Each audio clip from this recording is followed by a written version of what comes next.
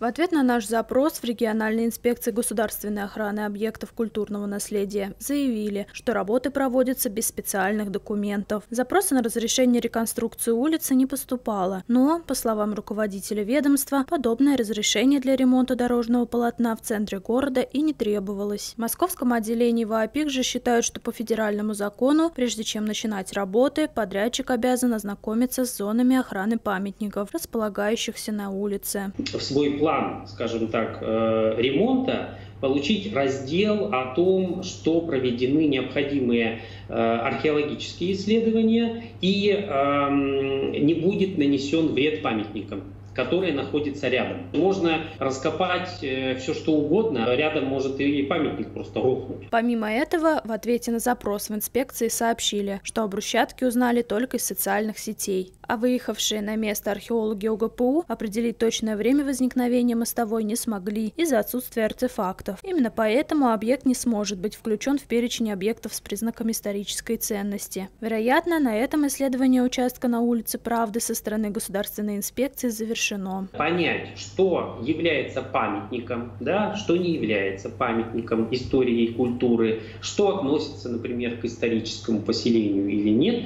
может только определить государственная историко-культурная экспертиза.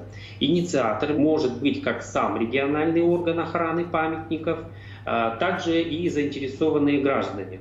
В 2013 году постановлением областного правительства исторический центр Оренбурга был признан историческим поселением. Оно занимает около 1% от общей территории города. В то же время Минкульт разработал проект документа об утверждении предмета охраны исторического поселения и требований градостроительным регламентам его границах. С момента разработки прошло более пяти лет. Историческое поселение остается незащищенным. В 2013 году по контракту государственному за счет бюджетных денег Оренбургской области ООО «Рона», НПП «Рона» разработала все эти документы.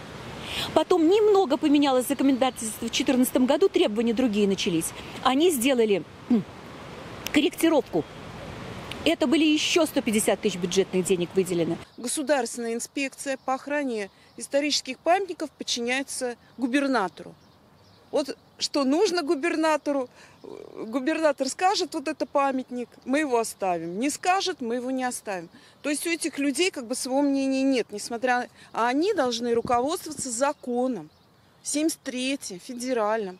И как раз, может быть, где-то губернатора поправлять потому что губернатор не может э, знать все законы, э, вникать глубоко исключительно в исторический центр. Документ позволяет любые строительные работы, любую, скажем даже так, хозяйственную деятельность на территории исторического поселения проводить под наблюдением археологического надзора. Защищает историческое поселение от уничтожения артефактов. Каждый день к нам в организацию поступают сведения о том, что сносятся дома, появляются новые списки, а, расчищаются какие-то а, исторические объекты, выводятся из реестра, или их не ставят туда, как вновь выявленные памятники – тем временем, пока проект границ исторического наследия не подписан, мы продолжаем терять историю своей малой родины. Что касается найденной брусчатки, представители ВОАПИК будут настаивать на государственной историко-культурной экспертизе, а также привлечении независимых экспертов и археологов. Помимо этого, вместе с депутатами общественники направили запрос в прокуратуру, чтобы поставить точку в этой истории. Виктория Палкина, Никита Плотников, городской телеканал ЮТВ.